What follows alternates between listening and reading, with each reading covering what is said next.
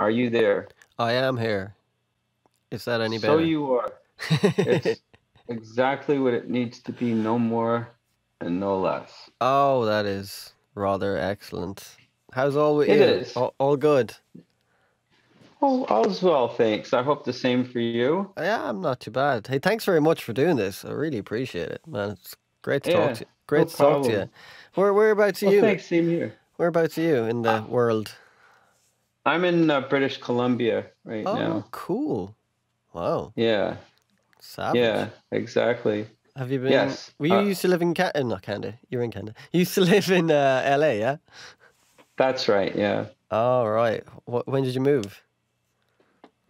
I've been here for um for a year and uh two months. Oh, cool. That's pretty cool. Yeah, Well, you were kind of working remotely, so you can kind of be anywhere, can't you? Exactly. Yeah, Yeah. well, yeah. yeah. I'm assuming from your accent that you're in Ireland. I am. Well spotted. Well spotted. Have and you been? which part? I'm on the west coast in Sligo. I knew you were going to say Sligo. Really? Really? Honestly? um, when you said West Coast, I was like, he's going to say Sligo. Man, I'm impre- I'm imp- I'm just impressed you know Sligo. I love Sligo. It's great. Really? Wow. Have you been? How many times have you been here? I've only been once. I spent a lot of time in Dublin, but it more, way more. Yeah, about the same amount in Westmeath, Right. in Mullingar, and uh, Oh, you were recording the Blizzards, was it? that's right. Yeah, Okay. yeah. What? Um, I I love. I, I yeah, I love it. it's great. yeah, Irish people were pretty chilled out. Like, we're pretty easy to get on with. Uh, That- that- yeah, yeah. I'm. That's that's all I found. yeah. I loved it. I thought it was great. what what, what part? know. What part of Sligo were you in? Um, I don't recall, but it was definitely a place where you would go for a holiday. Uh, Okay. Actually, went to. Um, I can tell you exactly where we went. We kind of we drove along the beaches because we wanted to see a bunch of Neolithic relics, Okay. and we went up the beach to a point where uh, where sentries first saw the the Spanish Armada coming to invade. Okay, I know. I think I know. Yeah, that's. I'm close enough to there. I'm in Enniscrone. I'm a little beach town as well, so a little surfer town. Oh so man. sweet. Just grab it's your board. so oh it's so beautiful Yeah, it, it is really absolutely beautiful. gorgeous Yeah, being by the sea, I, I, I get weird when I'm not beside, beside by the sea. It's kind of an odd. You know, when you grow up beside the sea, you're kind of like used to that. You're like, oh shit. And then when you're not beside the sea, you kind of feel uneasy. I'm sure it's for people who grow up in cities. You know what I mean? So yeah, you know, but yeah. uh, I'm just- grew up in a city i don't miss it Really, you're New York, yeah? that's right yeah Oh, what was that like? That must have been pretty pretty intense. it was pretty intense i mean it was great there were things about it that were fantastic i mean it Hmm. was it could be pretty scary at times Yeah. but uh it was you know i mean I, I i grew up i think in sort of like the last great period in new york city history i think it was all downhill after that pretty much i mean it was a real cultural center when i grew up and it was like it was kind of lawless yeah. and you know the place was falling apart at the seams so it was fun you know like i said it was scary you could get yourself killed if you really tried hard enough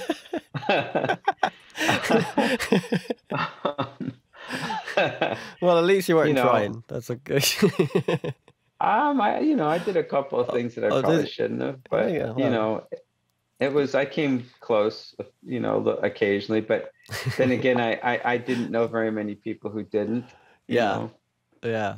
It was you know it was a great time it was a great time to be in new york to be an artist which Mm. of course now is it's the last place you want to be I've if heard. you're an artist yeah which is kind of tragic because i think that's part of new york's legacy that whole you know the the bohemian lifestyle and just you know a bunch of shiftless near do well artists you know yeah. going going to the West Village and having coffee and hanging out with their friends, you know, shooting the shit and then going back to their hovel Yeah, and, yeah. and and painting stuff or you know or writing or whatever whatever they did.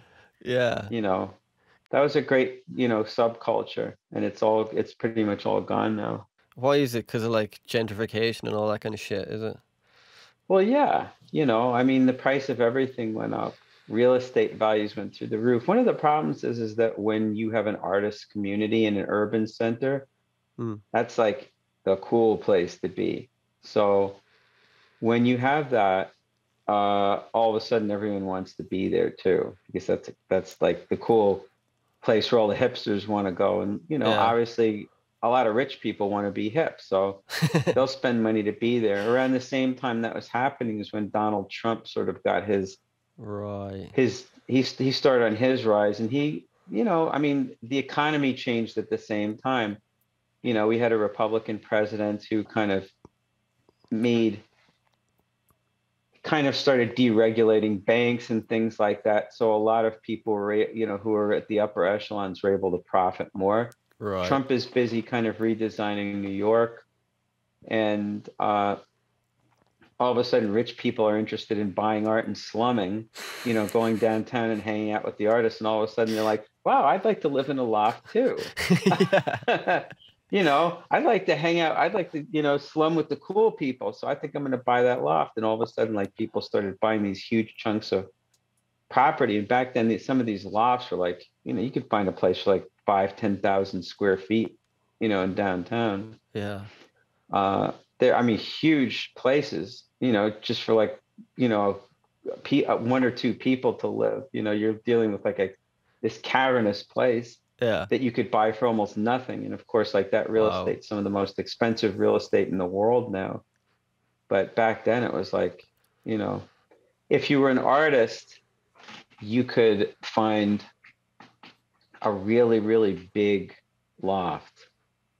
And they were all zoned. They were all artist zoned. Like there were Wow. special there, you know, you had to qualify with the city.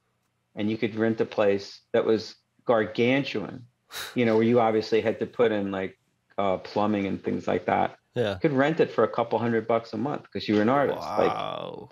people weren't trying to jack your rent. I visited a friend who lived in a uh, kind of like a railroad type loft Cool. that literally spanned from East 11th to East 12th Street. Like it was, it ran the entire length of the block from 11th to 12th. And there were two families living in this loft. And I swear to God, like there weren't doors on any of the rooms. These people never saw each other. That's crazy. They never saw each other. Like there were separate rooms in a railroad style flat, Cool. but and it with no doors. But you could, you were so far away from each other, you couldn't even hear each other. The Wow. ceilings must have been like 12, 15 feet high or something like that. It was massive. Shit. And the guy was paying like 300 bucks a month. That's crazy. 1979, 80. Yeah, 1980. That must have been exciting though. Like, because you know, like when cities are vibrant, they really inform. I always think weather and places inform how you write music. You know, it kind of has a big Totally. aspect on your your kind of. We're writing all sad songs in Ireland because it's raining all the time. you know, it's like that kind of vibe, and I think a vibe. It's hard for kind of a lot of young bands to get those kind of vibes back because you can't really get those places. There's no there's no young artist being going to afford somewhere like that anymore.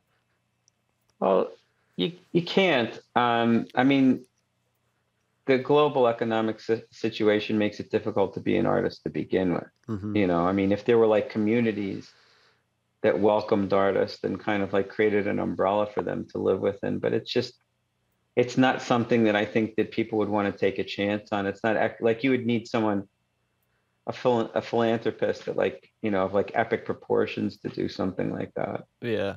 you know um and but you also don't have very many people who are uh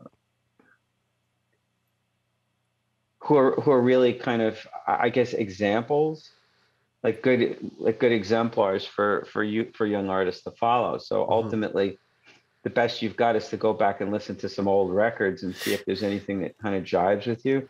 But you don't really have like the reference. You don't have the lineage kind of broke off a while ago. And um, you don't get this sense of continuity anymore. So there are guys like jimmy page who are still alive but like I mean, they've basically told you all they need, all you need to know about them. Like, I've seen in interviews where Page said that with Led Zeppelin, they essentially created sort of like an encyclopedia of, you know, of how to of how to do that particular type of rock music. So I think he left all the breadcrumbs that he needed to. yeah. But because the business isn't really acclimated anymore to promoting artistry, it's actually very difficult for an artist, uh, someone who is artistically inclined, to, to actually follow that road.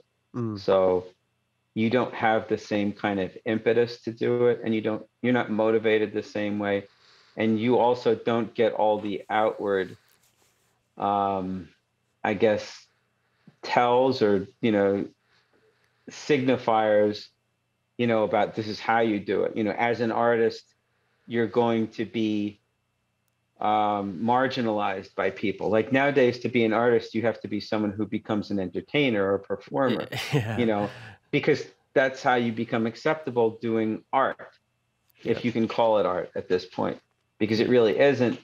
Because people aren't really using it to express anything or to communicate anything. Yeah. You and know, plus, and plus so it's a everyone, whole different thing. plus everyone knows, everyone knows everything about everyone. Like that's what I used to love about Bowie. Like you didn't know where David Jones ended and David Bowie began. Like there was a kind of ignim, ig, igma kind of enigma. Sorry, Yeah. enigma, quality. And now everyone knows everything about everyone. They know what they're doing. They know what you know. It's the mystery. I always like that about the mystery of, you know, kind of like the Beach Boys smile, all, all that kind of stuff. And there's none of that kind of vibe or mystery anymore. And it's kind of sad. No, there there there really isn't. You know, uh, to be an artist now, certainly to be one where you kind of strike off on your own path and really follow hmm what it is that's in your heart rather than kind of following a formula or direction that someone else has laid out for you is it's it's close to impossible at this point. You know there's just there's just it's there's there's just no way to kind of get the, the the right kind of support. I mean that's one reason why i've stopped producing records and i work more with uh helping artists on a more i guess formative level. Right. you know working helping them work with songs and just kind of getting a better sense of direction like who they are what they really want to do because there's nothing like that at all. I mean back in the old days we used to have artist development in record companies and you know it's almost like a school guidance counselor you know yeah. sort of helping you figure out what path you're going to take in life Yeah. and you know they just don't do that i mean the path is very simple it's like either you're going to make something either you're going to make something that sounds familiar and that can possibly make money or you're not going to be doing anything Mm. certainly not anything that anyone else is going to like i mean you can wind up on bandcamp for example and do it that way which you know i mean most of the music i listen to now is off bandcamp you know because frankly even though it's all kind of like based around specific genres at least it's a little more compelling Yeah. some of it you know Yeah, for sure. uh at least that's that's what i'm finding um Do, do you listen You to a lot of new music? um not popular music no i mean i every time i listen to anything that's new and popular i just kind of go it doesn't do a whole lot for me like there's some really talented people out there Yeah. like someone just turned me on to an artist named Labrinth who i probably should have known for a long Oh, time he's a cool dude. He's a good producer. he's ridiculous he's incredibly talented you know there's Yeah. lots of people like that out there who are doing all kinds of great things Mm. you know and i have to be honest with you i listen to it and i go this is wonderful i'm not going to sit around i'm not going to choose to listen to this and it's not because of the style of music it's just sort of like i'm not getting that I, i'm looking for something very specific when i listen to music it's not stylistic it's not genre it's not none of that there's Hmm. kind of like a there's an essential kind of emotional sort of rawness like a connectivity a resonance that I'm looking for when I listen to music. And if it's not there, I'm like, yeah, I can acknowledge the technical aspects of it, the things that are great, but it just doesn't have me. hmm And it's one reason I think why people don't spend as much money as they did. Uh, you know, actually investing in physical music. Obviously, they don't have to anymore because you've got direct access via streaming. So really, the the the motivation to have to go out and buy a record now is pretty much non-existent. Yeah. You yeah. know, but with that said, people still do buy some records. You know, yeah. uh, and it's interesting how the connection to that sort of thing has fallen by the wayside. Yeah, yeah. Because when know? you buy when you buy a record, there's like I don't know what it was like when you were younger, but when I was younger, you know, I'd buy a record and some of the songs were like, ah, oh, I'm not really mad about that, but I couldn't afford to buy ten records, so I'd keep listening to that, and then the song I kind of wasn't too mad about would mostly not not all the time, but it'd be like, oh my god, that's my favorite song now. Whereas nowadays, yeah, it's like McDonald's and everything's a playlist, and you know, I like an album as a piece of art, and I find that's kind of missing. And I think when that becomes missing, then people have no it, it devalues music in a lot of ways. If it's just like ah, it's a song here and a song there. Yeah, pretty much. I definitely I, I feel the same way. Uh, it's I mean it's a transition, whether it's sad or not is kind of yeah. you know, I, I think it might be sad from the standpoint of you and I like we, we feel like something's being lost. And I mean in a way, yeah, I guess you could say that. Yeah. There's definitely a transition going on. Uh, you know, uh, it's hard to say whether it's a positive transition, but it's definitely it's definitely a massive transition. But it does seem uh, by just witnessing the transition that the value of music from a cultural and a personal standpoint in people's lives has changed drastically yeah. from the time that you and I would have been young till till now, uh, because music definitely meant something.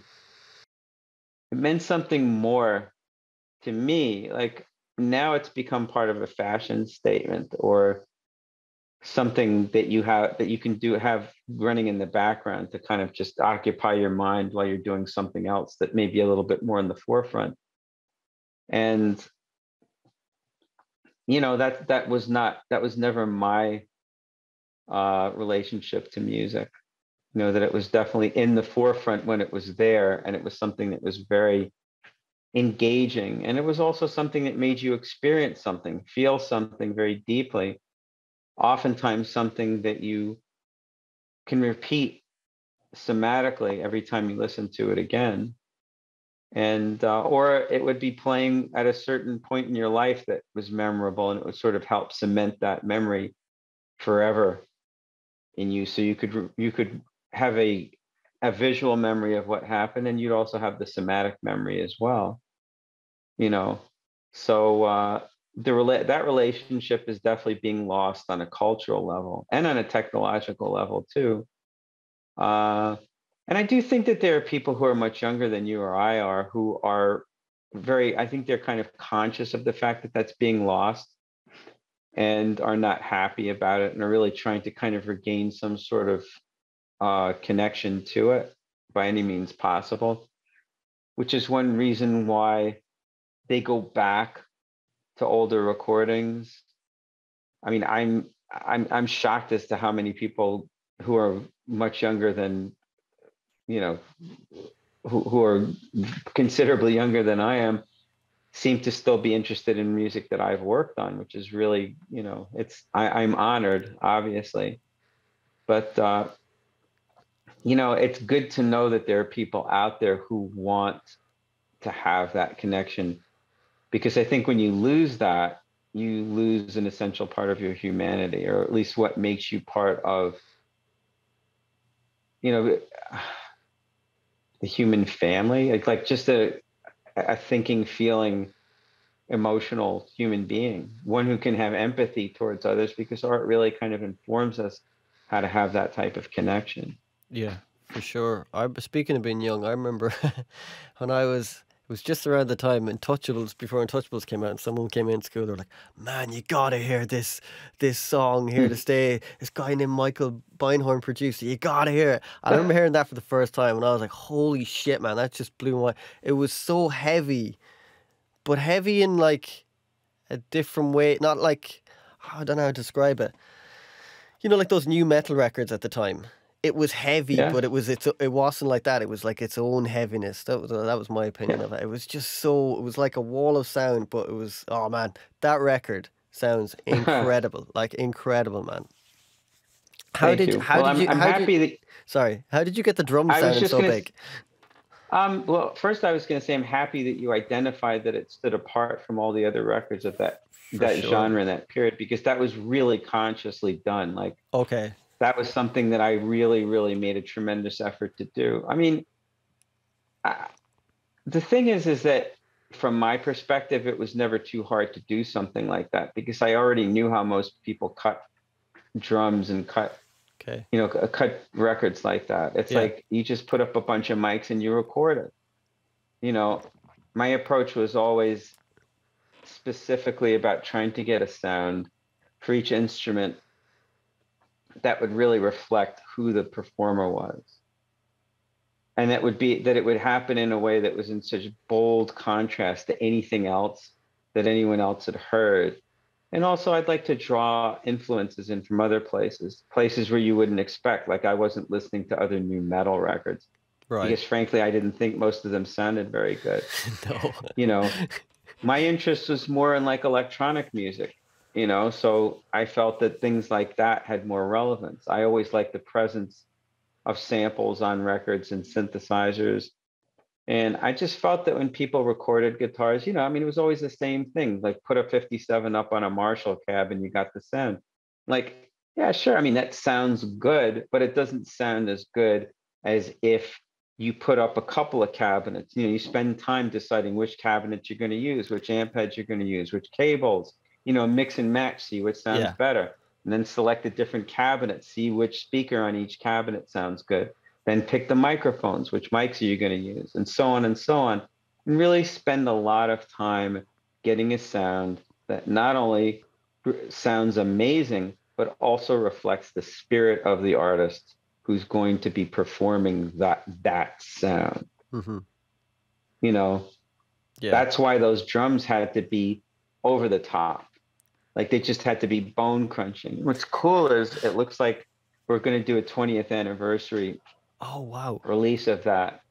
Um, so we're talking, we're getting ready, I think, to do an immersive um, mix of Untouchables, cool. uh, and and um, I think that we're going to be re-releasing that we're going to be um, releasing a whole bunch of roughs um, that I did while the record was in pro- was in uh, progress Sweet. and those roughs are it, it- every time I listen, like my feeling about the drums was I wanted to feel like, I mean, I'm not a masochist, but I wanted to feel like I was getting punched in the side of the That's head. That's exactly the feeling when I hear that. So I was like, I want to punch something because you have that feeling like it's just got that like Yeah. oh Well, that was, you know, that was it. It had to kind of give you an immediate visceral reaction because that's, you know, again, that goes back to my what we were talking about earlier. When I listened to music when I was young, I got a jolt from it. I Mm. got some kind of reaction to it. It wasn't always happy, but it was a reaction, and it was it, it was relative to the music I was listening to. So I wanted to make sure on that record, you know, anything else that I worked on, that that it had that kind of res- reaction for people, that it would resonate with them. And if I could feel it in the studio while I was working on it, I was absolutely confident that someone else listening to the record would feel it too. You know, yeah but those are things that you have to work hard to get. Like it's not easy just to kind of pull that out. I mean, you could do it with Muddy Waters and bands like the Rolling Stones, you know, because the Stones had a sound and they knew how to play their instruments. They knew when they, you know, when Charlie Watts hit his drum a certain way, it was going to sound like Charlie Watts. It didn't matter at that point which mics you put up on his drum kit. Yeah. Muddy Waters could sit and could write a song in like 15, 20 minutes, sit down and record it, and that would be it. And you've got a piece of history right there. You know, but people can't make records like that anymore. So my experience was you had to work hard to be able to create something. And it and it went beyond writing great songs. I, I find a lot of people go, ah, no one's buying your record to hear a great snare drum sound. It's like bullshit. You know, like like I get the whole. It's got it's the songs have to be there first. That's absolutely true. The foundation has to be laid, and the songs have to be great. But if you have great a great foundation and you record it badly, you're basically shitting on your product at that point. You're basically taking away a whole level, a whole layer of engagement, potential engagement with an audience Yeah. that, that they deserve to hear. And that's why I don't buy this whole no one, you know, no one bought your record to listen to your snare drum sound argument. It's Yeah. nonsense. Yeah, it's like it's like someone's good looking. If they're wearing the clothes that don't suit them, they look like an asshole. So you need to find something. You know, it's like production and you're painting it. You know, when you're doing production, and so you you need it's always finding the right colors and everything. And I think I totally agree with you. I think like that that record you did with Mew, Mew and the Glass Handed Kites. That production and everything, I love that record. That perfectly goes hand in hand with their music and what they were trying to achieve. I I, I think that record I'm not trying to blow smoke up your ass, but that record without your production style would be completely a different record and it would be the it just just sometimes you know these things are- are just gel perfectly together and I think that I, I love Yeah. that sound of that record like I love that sound of, like everything you did in that record I thought incredible so yeah I agree Thank with you. I love it. I love it too. are you a fan of that record yeah I am. Yeah. I think Yeah. it's a great record. I do yeah. too I'm I really too. proud of it. They're a great band. I'd say Bo was quite difficult at heart. I've seen videos with him. He looks very kind of combative, but probably in a good way. He was. He was very combative. Um, I think the rest of the band were um, were kind of afraid of him. they didn't want to. They didn't want to have. Uh, they didn't want to have any run-ins with him because he he was always the guy who who take things up the extra step that no one wanted to go. okay. Uh, by the same token, Bo was one of the things that made the band great. I mean, Yeah. he is a very he, he is and was a very unique guitarist. Uh, he he had some great ideas. I mean, he really he did some wonderful things, and I mean, I think that he counterbalanced what Jonas brings to the band.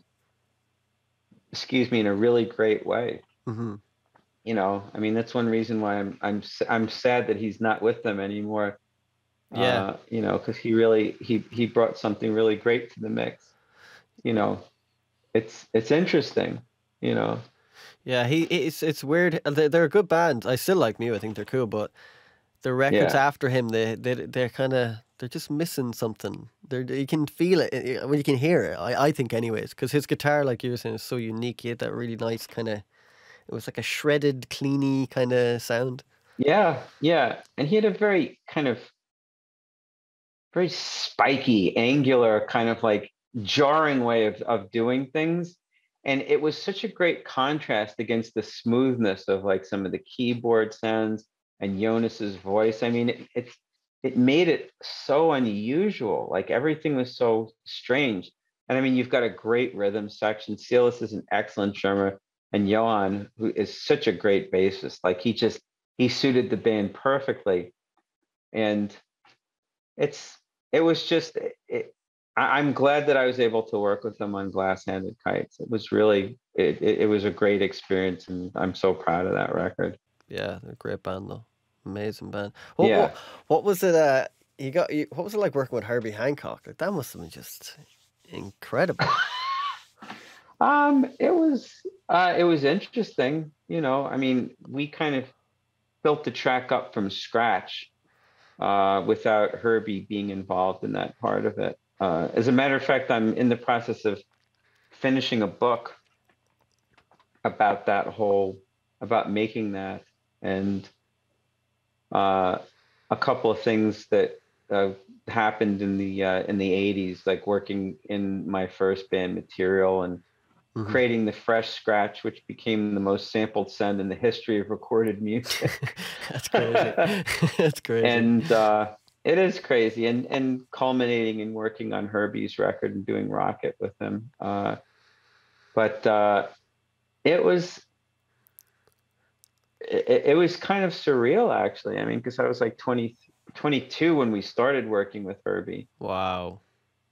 and uh, yeah, I mean, I was working with this other guy, Bill Laswell, and we'd been making, I guess, obscure, weird, sort of abstract type records for a little while.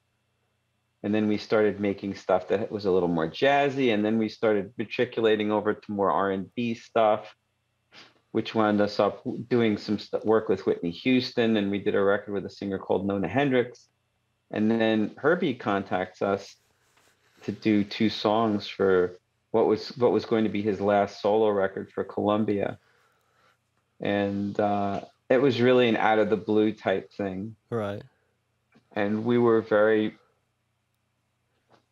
up for the challenge, you know. So we created these uh, we created these two tracks for him. I mean, I'd never worked with a keyboard player before. I mean, I, I would worked with some pretty amazing keyboardists at that time, but his technical facility was just ridiculous.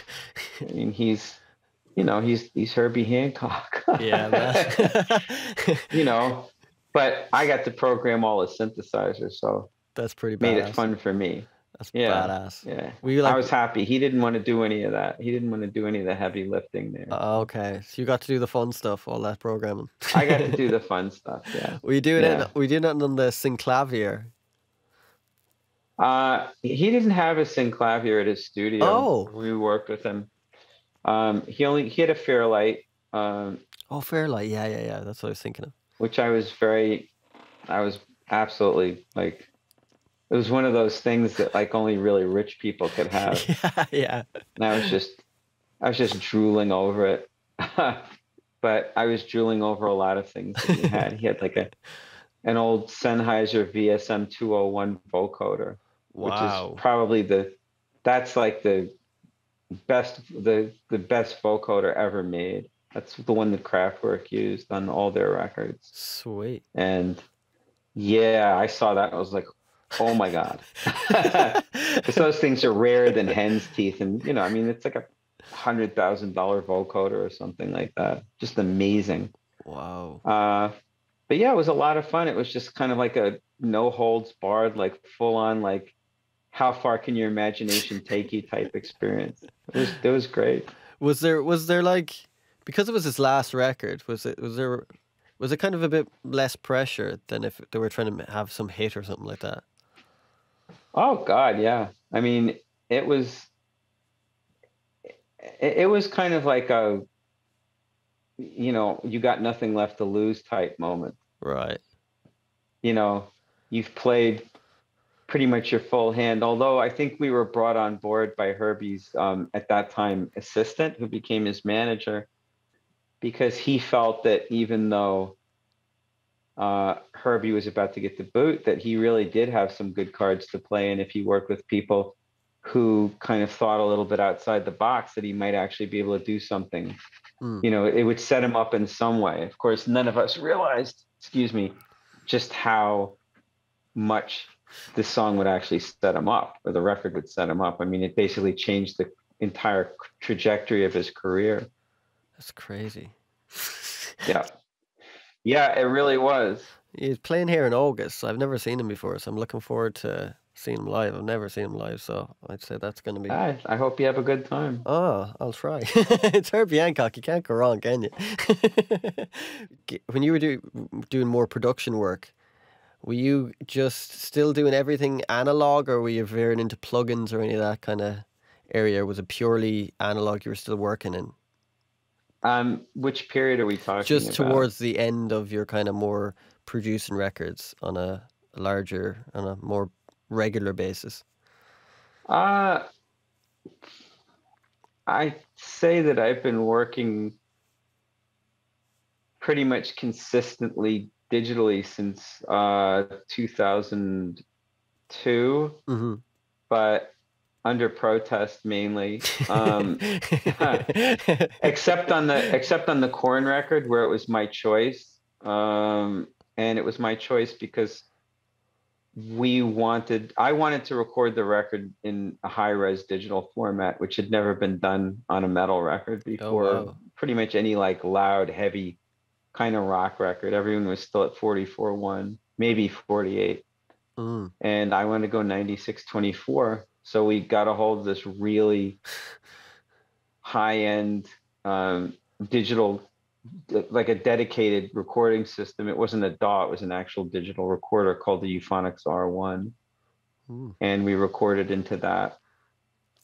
And I mean, at the time, you just really you, you couldn't get much better in terms of quality if you wanted to record a large scale multi-track um, digital recording. Yeah. Uh, so that you know on that project we were we stayed in digital we ed- did all our editing in Nuendo which was pretty new at the time and uh, unfortunately Steinberg who owned Nuendo at that point were adamant about making a high res uh, digital recorder that had no way to be able to get like a high res input so you could only use a MIDI time code reader Oh my god. to get to get into it, which is, uh, I mean, even now it kind of hinders my ability to be able to adequately express just how stupid a choice that was. They had no AES input on this thing at all, and every day it seemed like my engineer, my friend Frank Filippetti, who was recording the project, was on the phone to Steinberg, screaming at them at the top of his lungs, going like, "How stupid can you people be?" you know, you're the only high res DAW in the world. You have the inside track. You know, you've got every major like producer engineer who's got a name associated with quality recording backing your product, Yeah. and you refuse to cre- to make an AES um, interface so that we can actually go straight in with mic pre's and consoles and things like that. It's all MIDI time code. Like, have you seriously taken leave of your senses? And they're like, oh, you know, you know, you know, why would we want to do something like that? They figured that they had this 96k 24-bit recorder that they wanted to market to like bedroom producers. And we're kind Okay. like, wait, you've got Al Schmitt endorsing your product, and you want some guy who's like doing, who's recording like soft synths in his bedroom to like, what the hell is wrong with you? So, in the meantime, while they're just sitting on their hands doing nothing, Pro Tools has enough time to come out with their 96 24-bit system and then just blow straight past Steinberg. Wow. You know, yeah. So obviously everyone's using Pro, Pro Tools now, and you know, there's only a handful of people in the world using Nuendo. Oh, Uh, wow. but they could have been, yeah, and they had plenty of pressure about it as well. But you know, um, I don't like working with with computers um, and recording. hmm I just don't. I don't like the interface. I never will. Um, I like tape. I like tape machines, um, but they don't always sound right for a project. Right. Yeah. Uh, I don't like DAWs to record into, but sometimes you don't have a choice, which is another reason why I'm not really interested in recording stuff anymore because I don't like being told you don't have a choice to do anything. and you have too much choice with a DAW. Like that's the thing. You can, you know, we're we're we're kind of, we're not able to. I think it's like Netflix. You know, you've. T- I go on Netflix, and uh, I have so much choice. I watch fucking nothing. I just go. I was like, what have I done? I've watched nothing. And I think as Did- human beings, when we're given a small, if you're given three choices, three movies, you'll watch one. Yeah. It's an interesting point though, because in the world of too many choices, you're still you're you still butt up against limitations. With Netflix, the limitation is you come to a point where you realize that actually most of their programming is garbage. That's the reality. That's the reality. And then you come to the the understanding of this is why I didn't want to watch any movies on there because most of the movies on there are movies I don't want to watch anyway. Like I wouldn't have chosen this. And the movies that I have been watching are movies that I've watched because I didn't really feel like I had any other choices. Yeah. This is another reason why Netflix has actually lost a third of its valuation over the past two or three weeks. Like they had a massive drop in their share price. You know, same thing is true with DAWs. When you're dealing with Pro Tools, you're dealing with the sound of Pro Tools. Ultimately, no Mhm. matter the, regardless of the fact that you could do like a 300 track session and put like every kind of plugin known to man on it, Mhm. you still face the reality that you're dealing with the sound of Pro Tools. You know, Mm. I mean, there are tremendous limitations to that sound. Tape is different because on a tape recorder you might you can get up to 24 tracks. You know, you can screw with it a whole bunch of different ways that don't involve pl- that don't involve plugins that really just involve what your signal chain looks like Yeah. and how hard you want to hit the tape, what your over bias and biasing is on the tape, you know, what speed you're running at. And within that narrow range, you've got like a universe of choices.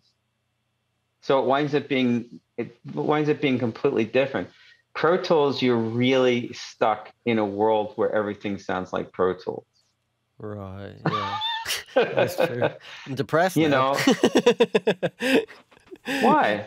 well, I you know, to- I mean, have you to- still have 300 tracks Oh god, that's that's too many. That's too many. and all the plugins. That's and all the many. plugins. So it's different, you know, it's different types of stuff. I mean, you can tune a vocal, you can do stuff, Ew. you know, you can move, you can shift a note inside of a chord. Excuse me, where someone was playing out of tune, where someone was kind of like pulling on a note too hard. True. You know, I've done records where we've tuned vocals, but my idea of tuning vocals and someone else's idea of tuning vocals are two completely different things Right. you know um, and there's practical applications in digital as well Mhm. like one of the practical applications is that you can adjust absolute you can adjust phase on every single microphone in a drum setup in a way that you i mean if you're on an analog console you've got a phase flip button. You might mm-hmm. be able to put a phase flip in the you know in your signal path in a microphone relative to a different mic. Of course that's going to screw your sound up but you know you you deal with what you'd rather have. You know Yeah. you want an out of phase microphone or do you want to have a you know drum sound that might have sounded a little better if you didn't have to stick a phase corrector in, in the path. Yeah. you know but in pro T- in, in, in a daw you can obviously go into your tracks. You can apply these like these plugins that will phase align every single drum mic you know to a hit where you can you can phase align it down to like samples and stuff like that. And all of a sudden things sound completely different than you've ever heard them sounding before because all your drum tracks are like boom phase lock Yeah. you know, which is not what happened when you recorded them because everything happened at different intervals of time. Yeah. You know, that's amazing. you know, being able to do that level of correction.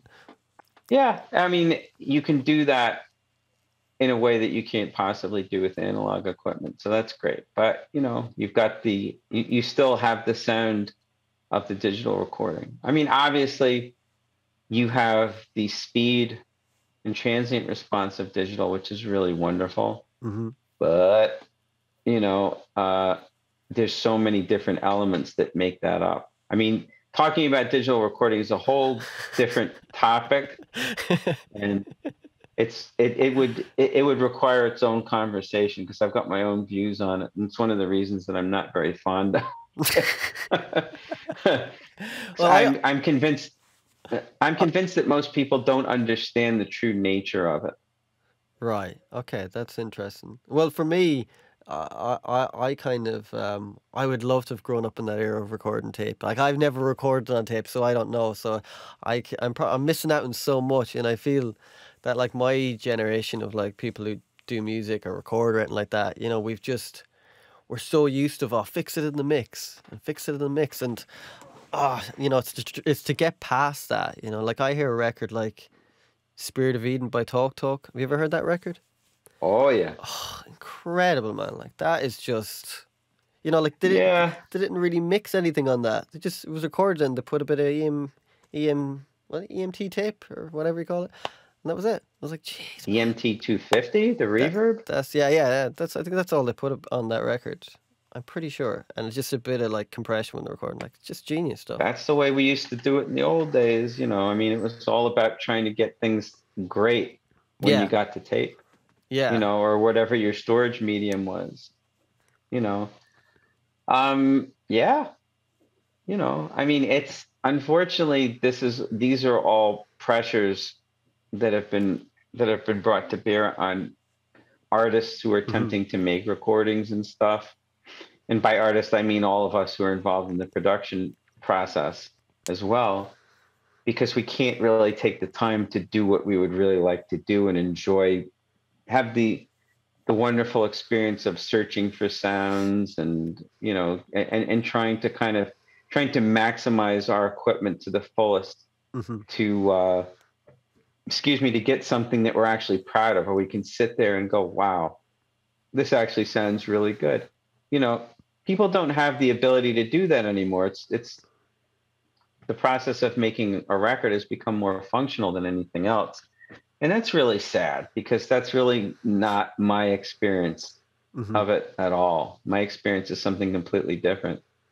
And uh I, I like that experience a great deal. I always I always did, and the idea of feeling rushed or feeling like you're in the pro your process of trying to do what you do for an artist is actually being hurried along because mm-hmm. it's more in the interest it's more in the artist's interest to get their record done on time and on budget and not spend a whole lot of money doing it instead of make a document that's going to stand the test of time forever Yeah. that's kind of it's it's sort of it's not sort of it's utterly self-defeating Yeah. you know sure. so at this point i'm i'm more like well, if i if that's if if that's what i have to face down i would just as soon not do it and focus on something different Yeah.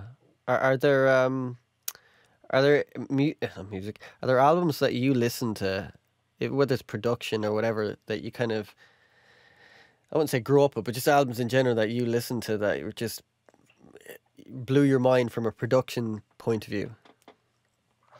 Um yeah there are plenty. I mean from the time i was young obviously i was listening to stuff like the beatles you know Quality. and the production on i mean i didn't even know what production was when i was first listening to the beatles but the way the record sounded they had a they all had a vibe to them. They Mhm. had something going on something that painted a picture in your mind and you didn't even know what that picture was. You couldn't really explain what it was. It was just something that was there. It was you know a, a mental aspect that i would associate with a visual experience um, that accompanied my sensory experience of a piece of music. And that was really profound. And yeah i mean that a lot of that had to do with how those records sounded. Hmm you know not knowing what it was i was listening to not knowing what the instruments were that produced these sounds how they were made what the various processes were that went into creating them who was involved with the band getting all that work done and how meticulously they worked, you know trying to trying to create these things that there actually was a lot of thought that went into making those things Yeah. you know and doing things differently like on some songs having the band change instruments and having like the guitarist play the bass and stuff like that and you know i mean all that amounted to something for me as a li- as a young listener before i knew what music production actually was that made it a mysterious magical mystical experience you Did you- know Did you always And- want to be a producer? Was it was there a point where you were like, "Oh, this is what I want to do"? Was it just Uh, something you kind of always? when I started doing it was when I figured, you know, I, I did it once and then I did it a couple more times, and I was like, I guess this is what I'm doing. That's a good way to You find know, out. well, I mean, I, I I had to come to terms with the fact that I never really wanted to be a musician or be in a band. You know, it was just not my thing. right. Uh, and I have at this point no interest in being a musician whatsoever. I mean, I love electronic music, but uh, I'm just it's just not anything that that that is that, that's an interesting to me. Yeah. People who are who are capable of expressing themselves through musical instruments, that's an amazing thing. I love that. And I like being part of the process of helping people like that get to get further along in what they do. hmm But I'm not going to go and sit at the piano and start like playing. That's definitely not for me. you can you can you can play piano though, can't you? I'm not very well. Being a producer like you are, it, it, it's it's so entwined with great with uh, with great albums. Like the production work, I think a lot of people who just listen to music uh, like that great album, they go, "Oh, it's a great album," but the production is such an important key of that album. Like you know, you did Mother's Milk. That is an important key of that album. You know, and I, I was listening to you in an interview and you were saying how you kind of kicked Anthony out of the band, and then uh, he kind of was happy when he came back in. And I suppose like being a producer like that, you're like a babysitter as well, aren't you? Can you have to take on all these roles? It must be like stressful, rewarding but stressful. I'm sure. Uh, it's unbelievably stressful, you know. Um, but it's only stressful in as much as the people that you're working with are in particularly different places, difficult places in their lives. Mm-hmm. Working with the Chili Peppers was a very unusual experience because at that point in their careers, no one outside of Los Angeles really cared about them. Mm-hmm. And even in Los Angeles, there weren't that many people. They had a very, very small group of fans. And uh, their record company didn't like them. And they had, there was just immense amounts of strife that was going on within the band. Obviously, the drug, Yeah. the drug use was probably the worst of it. But having to deal with all that stuff and also being like a 26 year old kid, I mean, I'd never produced a record on my own like this before for an American band. Yeah. This was my first American solo production. And I truly got dropped in at the deep end of the pool. You know, having to make a record with a band who no one else wanted to work with, whose record company despised them, and had two heroin addicts. Fun times. That's a mild way of putting it, yeah. Hard times, maybe. but it makes for good stories. yeah, for sure, sure. How and how, how, what's the difference how, from a kind of um, what you get out of a difference? You, you know, you know, you get you're getting something out of producing something. What's the difference when you're writing a book? How, how does how does what do you get out of that as well? I know you're getting something obviously because you like doing it, but how do Writing a book as far as you mean a book about the work that I've done? mm-hmm, mm, or the current book you're working on? Um, well, I'm actually working on several. It's a series of uh, all these different records that I've done. Oh, sweet. Uh, yeah, I, I should be doing one on Untouchables as well. In fact, I'm partway through that. wow, that's um, cool. Well, this is basically per. It, it, it's purgative. Like I, I'm basically purging a whole bunch of stuff in me hmm that it's time to kind of it's time to release. I mean these. It's funny because people have been asking me to write books about projects I've worked on for years, and I've just been like, no. I mean, because I know that if I do this, most of the people that I've worked with will never want to talk to me again.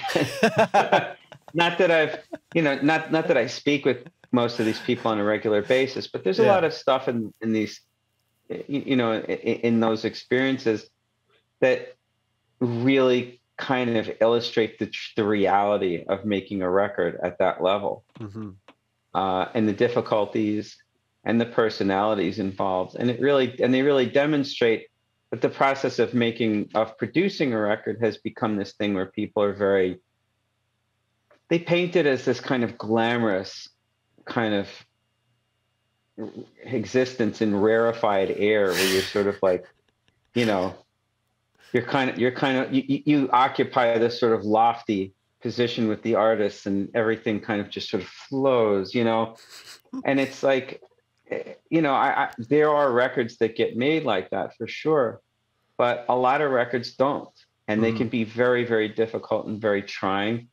And i think the experience is a valuable one to share with other people to give them an inside experience of what it's like sort of from a boots on the ground perspective you know so it's allowing the, the process of writing these books is really allowing me to kind of free all these experiences and sort of let let go of them. Yeah.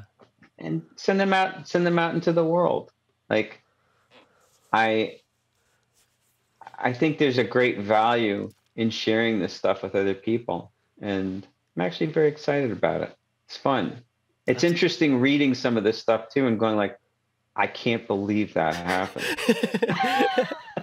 like did i actually really go through that did that really actually happen this is crazy no one would believe this wow. you know Is there Yeah, stuff? Is there stuff that like you've forgotten, obviously, and then you've kind of you've you've found it out again, and, and you're like, "Holy shit, man! And I, I totally forgot about that." And then, Yeah, yeah, and I actually kind of went back and sort of re revisited a lot of motivations for why I made certain decisions on projects. Mhm. And I can recollect that in some cases I was pretty conscious about what I was doing. In other cases, I was sort of semi conscious, but made a very rational, logical decision anyway. And it's really fascinating to parse those choices out and to look at them and go, wow, that's really interesting. You know, and to also think about some of the stressors that may have put me in a position where I had to make a decision that was particularly difficult. yeah, yeah, like would that be like firing a not firing a drummer, but you know having, you know, you have to have that talk. I know there was that that story about you talking to the the whole drummer, and I remember it, it, like it's like everything. You know, these stories they get way blown out of proportion, and when you hear the real oh, truth, Oh, yeah. it's like you know, I can imagine you've heard things you're like, that never happened. What the fuck are you talking about? Well, I mean, it's interesting because she actually did a movie about it, or someone did a did Oh, a movie wow. about her. Yeah, and I mean, it was it was it was interesting because I was essentially vilified completely. I mean, it's that's it's kind of uh, it, it's it's very sobering to see when someone's made a movie like that and they've kind of framed you as being sort of like the a personal victim and personal like villain in their lives and the reason for their their own downfall you know so I, I mean i actually had people emailing me like threatening me and stuff Really? because from that movie oh yeah What the fuck? yeah absolutely That is such a Yeah. hu- human thing, isn't it? Though we always tend tend to like, even if it's a breakup or something small like that, we always go, "Oh, well, it was the other person's fault. It was never my fault." We never kind of internally go, "Well, look, how did I, you know, what happened for it to get to this point?" And yeah, people can be like that, and I'm sure rock stars they ain't they ain't taking too much credit for their shitty decisions. Um, it's I, I I haven't seen it happen very often. I have seen it, but you know, it's in that particular instance, it wasn't a case of of Patty going like of Patty acknowledging why things were happening. It wasn't Mhm. as if they just it wasn't as if they just sort of happened out of the ether or there was this like cabal against her from the beginning Right. you know but it doesn't change the fact as you're saying before that having to go to her and explain where we were at and what we had to do next you know that it was a that it wasn't a really really difficult thing to have to do. I mean it was it mm. was agonizing because you know you're talking to another human being. You know you're break you're basically breaking their heart. Like the one thing i know she did want to do was play on her own record and it made sense. It's her band. Those are songs that she performed that that she was involved with. She should be playing on the record you know? There needs to be a really really good reason why that's not going to happen. Yeah. you know? Yeah. and it's you know and when you have to put someone on on the spot like that it's not even putting them on the spot basically dictating to them what they're going to do next and that the next thing they do is not going to be playing on their record and that someone else is going to be replacing them i mean that's devastating you know and i i had to i had to think about that before i actually did it and i had to live Mm. with it unfortunately we were so far along in the process and we'd spent so much time waiting to get drum tracks that I really didn't have a whole lot of time to really kind of, you know, to, to do anything. Like I had to act immediately. Excuse me. Yeah. But yeah, I was that was extremely difficult. And I would not recommend it to anyone else. Did you she know. did she ever contact you after the movie? Oh, I hadn't spoken to I I didn't speak to her since um I saw them I actually saw them after we did the record. They played a show or something like that. And you know, I mean, her reaction to me was not uh, you know, it's it's not it's nothing you wouldn't have expected. She wasn't particularly friendly. Yeah. Yeah. You know, at that point I couldn't necessarily blame her for feeling the way she did. But I mean, as far as the movie goes, I don't really think that she would have had a lot to say to me after dragging me through the mud like that. You know, That's a And shitty thing I was to- like, Yeah. it's uh, you know, I mean, I I understand the motivation. I can't. I I was certainly upset when I saw that, but I can't stay mad about it. You know, I mean, I I know that she was under a tremendous amount of stress, hmm more than I could possibly comprehend. So hmm you know, I I would have handled it differently, but I'm not her. What was the guy like who played you? That's always a weird thing seeing someone play you in a movie. Oh no no no no! This was a documentary. Oh, documentary. Oh, right. Okay, okay. Yeah. I- oh, wasn't no, they like didn't a use a dramatization of anything. This is a documentary, so my Ah. picture was in the movie. I mean, they didn't have any footage of me, so like they actually Ah. showed my picture Oh no, in the movie. Yeah, I was kind of like Jesus! sweet guy. I wasn't that. bad. It's lovely I was looking at myself.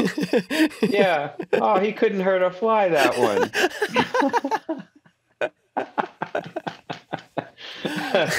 I was like, uh, you know, I mean, I was looking at myself in the movie and I was like, if I'd known this was going to happen, would I have made the same choice? And I was like, fuck yeah, absolutely. Yeah. I mean, because it wasn't about my ego, it was about doing what was right by the record. Like the artist hired me to do a job, I was doing my job. Mm. I, if I was her, You I'd be? I'd be more angry at the band, not you, because you're kind of like the guy who's just putting the word there. It's not like you're the, you know, they're telling you pull the trigger almost. Oh, I made an easy scapegoat, and I I I accepted it as well during the project because when it came time to fire her, I'd already had a conversation with them before, and they wouldn't do it. You know, in fact, one of the one of the um, prerequisites for doing the record with them was they they already knew that I had a reputation for letting drummers go, which was interesting because I knew so many producers who would just who, who would just come on a record and say, okay, which one of you is the drummer? And the guy would be like, I am. And they'd be like, okay, you're gone. It, it wouldn't even be a conversation. You know, so I was like, how do I, how did it that I have a reputation for firing people when there are guys I know who won't even let the drummer play on the record? you know, so I couldn't, I was told I, you're not permitted to fire her. So, you know, I worked with her very, for a very long time before to make, to ensure that she wouldn't be fireable, you know? right? Yeah. and yeah. then when she got in the studio she just fell apart so i talked to the band about it and they're like remember what we said at the beginning of the project you can't do it so um, i knew that courtney was going to be coming back in the studio at some point. And when she came in i made sure that one of patty's worst recordings was playing on you know was was, was being played when she was there which was kind of like I, I i'm not going to say that was a completely above board thing to do but it was like you know I, i'm going to do everything i can at this point to show to show the artist what they're dealing with. Like this is basically the, this is the foundation for your record here. Mhm. like if you you know if you want to move forward with that fine but based on what those guys told me it didn't seem like that was the kind of record they wanted to make. And she came in she heard that and she was like oh my god what is that? I was like that's your drummer. And she just said fire you know? And then I had another meeting with the band, and they were like, "Well, you got to do it." So I was the guy, as you're saying, who got shouldered with the task, and I I said okay because I recognized that if they had to do it, Mhm. which they wouldn't have done anyway, um, because they didn't want to make waves, but if they'd had to do it, it would have it um it it would have devastated all their relationships. Like it would have you know they they had to there had to be something where there was still some kind of i guess even keel like some place where people felt like they're they're okay so it had i had to look like the villain in that Right. case and i was like well i'm not in the band so it makes it easier for everyone if i just do it you know so i i took on on the responsibility of doing it Yeah. and as i said i would have done it again under the same under the same circumstances Yeah. Well, you know, the uh, people tend to kind of, like we were saying, they, they- you know, there's, there's, oh, they don't, they, they only look at their own truth sometimes. They don't look at, you know, that they understand, don't understand it. Like that was hard for you to do that as well. They just think, oh well, me. I know it's hard on her, but you know, it's not like it's, it's, an, it's- it's not like an easy thing for you to go. Oh hey, you know. It didn't. It, it- but the thing is, it didn't have to be her job to worry about how I felt firing her. Mm. You know, it would never, as far as I'm concerned, it'll never have to be her job. She doesn't have to worry about that. Mm. You know, how she feels about me is her business. I'm not really concerned about that. I did what I did. I did what I had to do. She did what she felt she had to do, and that's where it is. You know, Yeah. the record was the record was done the way it should have been done. The tracks came out great. The record did extremely well. Everyone got paid. No one's complaining. I'm happy. You know, and people still love the record. So I think it all worked out okay. Yeah, it's a cool sounding record, man. Like it's a good, Thank it's a it's a badass sounding record. Uh, to tell Thanks. your I'm very, I'm very proud of that one. well, yeah, all well, like come on, all your records sound good. Super, Superunknown, man. That's just fucking class, man. It could go on forever. But your books, so you Thanks. doing, so your books, are you doing it uh, on specific albums that you're you're working Yeah. on, or is it just just yeah? Oh yeah. So what are the if you if you can say what are the specific ones? Well, the first three that I've gotten done are uh, Mother's Milk, Mhm. uh, the one about Rockit, cool. and and the the last one of that series is Superunknown. and- oh, cool. I've done one about the Uplift Mofo Party Plan, and I'm working on uh, Mechanical Animals, Celebrity Oh, wow. Skin, Untouchables. Uh, Mew, you got to get. You got to do Mew, man. You got to do the Mew one. Unfortunately, I don't think I can recall enough about making that record. well, there's a documentary on a DVD, so watch that. They put out a little documentary somewhere. I think I have it actually, and I remember. I I've was- seen it. Yeah, it's I've pretty. seen it. It's pretty cool. it's pretty cool. I think there was some part. was, maybe uh, maybe it was something about the AC, or maybe I'm listen. It was some interview you did, but it was something with the AC, the power at the time, or something. Maybe I'm. Oh, brother. Maybe yeah, I'm. that was that it was it? very difficult. Yeah, it was Okay. because we were down in Venice, and every day around five or six, all the power, like all the all our amps and our microphones, like the sound of everything would change drastically.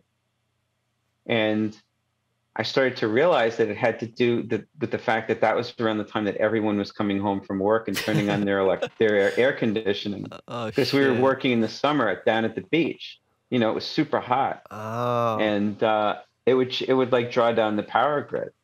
Oh, right, you grids then. Oh, that would explain it. Shit, man. we had and we had a voltage we had a, a power conditioner but we didn't have a voltage stabilizer Right. so we had no way to kind of stabilize the electricity so we were dealing with like you know so all of a sudden everything in the studio is kind of like must have more air Water. exactly more electricity you know so we had to work around that it didn't it it made a lot of our really great guitar sounds suck frankly but Right. uh you know we we did what we could Yeah, well, de- definitely, definitely. Uh, it, it's a great record, amazing record. I love Thank that you. record. I love Thank that you. record. Um, so before I let you go, because I've taken up a lot of your time. Sorry about that. but um, don't worry man the- but um, so when are the books coming out? Or have you? Are you Uh, just kind of going with the flow? Or no know. the first one should be out within the next couple of months oh, great. Um, they're going to be exclusively through my website. My website will be up hopefully within the next month. I think it's they're all going to be coming together at about the same time. Like. I have an old website which is michaelbeinhorn.com, but this new one's going to be beinhorncreative.com. Excellent. Uh, and yeah, that's basically going to be my matrix, so to speak. But yeah, those books will be available through there I re- I- exclusively. I read your first book a few years ago about. uh, Oh, awesome. Thank you. That's a great book, man. It's really Thank you. Yeah, I, I Thanks, I appreciate it. I loved it. Thank you. I appreciate that. I'm I'm gonna definitely get those new books for sure. Are they are they long or are they kind of how's the uh, right now, they're kind of ranging from like 140 to 200 pages. So they're not like big reads or anything like that. But that's cool. the stories in them, I think, are part of what makes them most engaging because, again, it's not just about like, it's sort of, they all cover so much ground. Like, you know, I, I, I didn't really get into a lot of technical stuff on some of them, Mhm, partly because some of them were done such a long time ago. mhm. And there are things about recording them that I don't really rec- remember Yeah. but dealing with the personalities and all the diverse situations that came with came up with uh, on on both rec- on on all these records, like on both Chili Pepper. I mean, you would have thought that by Mother's Milk, with the Chili Peppers, they had their they had their shit together. It's like it was an absolute disaster. Yeah. making that record. It was just pure insanity. The stories are are crazy, you know, and seeing what the different personalities were like, the things that they did, and understanding like I think you know with so many artists, there's kind of there's an air of they're just seen as being apart from the rest of the regular population. You know, they're kind of like they exist in this sort of mi- rarefied mystical air Yeah. that none of us are supposed to understand or penetrate. But the reality is so much different than that. These are like real people who have real stories. And, you know, even if you read their autobiographies, like with Anthony, for example, like he just kind of like glosses over a lot of stuff. I mean, like I shot up heroin and then I, you know, fucked this girl and blah, blah, blah, blah, blah. And, you know, like, and we did this record kind of thing. And, you know, it's like it doesn't really it doesn't tell you anything about who he is or how he did certain things or you know or watch his reactions to things that go that that happened around him or what his behavior was like when he was a junkie Hmm. like from the through the eyes of someone who is actually watching it going you know thinking like what the fuck is wrong with this guy? You know? Like you know sitting down with him and going like do you want to live or do you want to die? You know? Do you, you know, is this the road you really want to go down? Hmm. you know you know and, also like the climax of all that when we were in the studio and i was like that's it get the fuck out. I love you that. know i mean i was like i was a little kid. I was like 26 years old when i did that. I just but i just like had it up to my gills with him. And also the way that he that he was treating the rest of the band that he was just so disrespectful to the amount of effort that they put into into working at that point knowing all the pressures that they were up against. Hmm you know and trying to basically being in the position of i'm the only person who's going to be able to unravel this because no one else seems to. You know those stories are incredibly invaluable because they really paint a true to life picture. I mean it's highly subjective because it's through the eyes of one person obviously but it gives you much more insight into who the artists are what they were in their creative process. And it's you know to me it's fascinating stuff. No the truth is no one's ever written books like these before because they're always afraid about pissing people off yeah. Hey, if you i don't don't, have that problem Yeah, don't talk to them anymore. no Do you, is that is that kind of the thing? You know, when you do a record, it's like that's it, and you don't really talk to those people, or is it just what's what's It that? depends. I mean, I know a lot of producers who become very chummy with the artists that they work with. I mean, that's part of that's part of the nature of their relationship Mhm.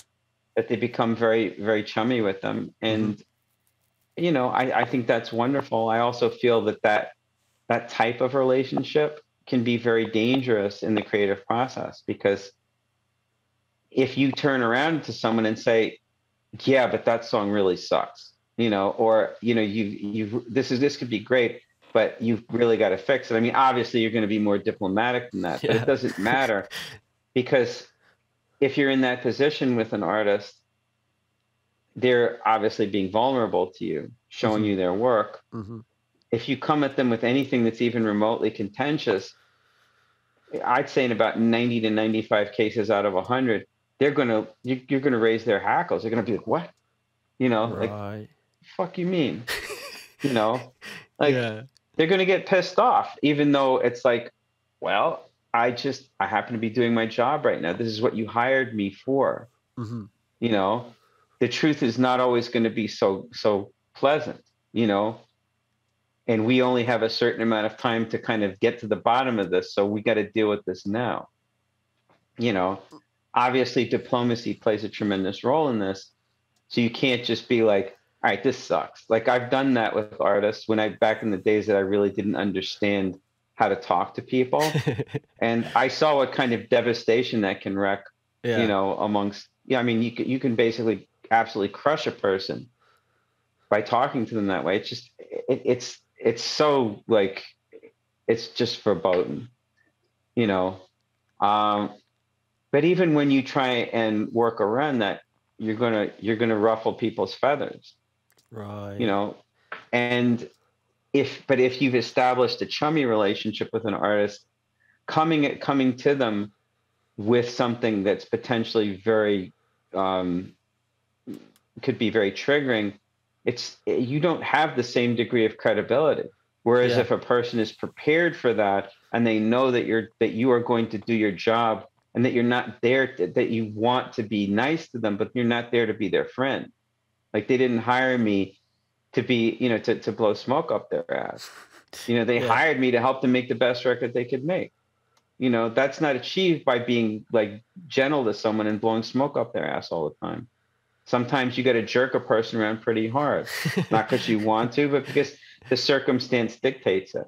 Yeah. You know? I think being able and being being able to present that in a way where people read about it and can see what the consequences of something like that are as well as what the events are that lead up to making a choice like that it's fascinating stuff Mm-hmm. Mm-hmm. That's cool. Well, thank yeah. you, thank you so much for this, man. I really, been a great, it's been a great talk. I have to say, thanks. Um, be cool to have you back when you have the books out because I'll I'll read them and then I can talk to them if you have time. You probably you know you're busy, so you know. No, man, it'd be great. Oh, cool, cool, thanks. But uh, what are you actually? Are you reading it and cool at the moment, apart from your own stuff? Um, oh, I, I, try to read my own stuff as little as possible, only when I'm editing it. Um, um, uh, I'm sort of like midway through probably about 10 or 15 books. Uh, oh, you're, you're, like me, so I dip in and dip out. I got ADHD. Yes, yeah, someone sent me a book um, called The Oh, The Artificial Ape. That's what it is. Oh, cool, cool, cool. Yeah, um, and it's basically about the evolution of human technology, like AI. And I'm not very far into it. I have to admit, I've been sidetracked a lot, but it's really one of the most amazing books I've read in a long time. Oh, cool. Yeah, it's really fascinating. uh, this guy out. make yeah, this guy's perspective is so inc- extraordinary. Like how human technology developed, how certain cultures actually they're they're I can't I think there's like Tas, a, a, culture in Tasmania that I think doesn't is extinct now, but I think they died out in like the late like late 19 early 19th century. Right. And they kind of their call their technology went backwards. They started kind of stripping away all the things that weren't necessary oh. just to be alive. Um, I think that they stopped being able to make fire because they would just carry it around with them. right. Uh, and they didn't they didn't really wear any clothing, even though their the climate where they lived was incredibly brutal and could be extremely cold. Shit. They I think they just covered themselves with like seal fat or something like that.